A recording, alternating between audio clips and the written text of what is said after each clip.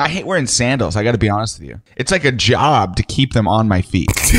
I'm always like doing this clenchy thing with my toes. Yeah, you have to consciously think about your feet when you're wearing sandals. Yeah, I'm glad. I'm glad I'm not the only. I thought, uh, like I said, I thought I had weird feet or something. Uh, you probably do. Everyone's got some Probably. weird ass feet. When you see someone with like normal feet, you're like, whoa, what the fuck? You know, I got like broken toes. You know what I mean? Like I have weird, gangly, long feet. My second toe hangs out past my my first Oh. toe, like by a lot. Yeah.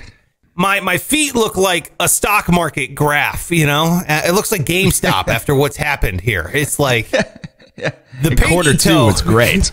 yeah, the second quarter was crushing it by the time we get to the pinky, it is like, whoa, going on a business sale. It is uh yeah. sell, sell.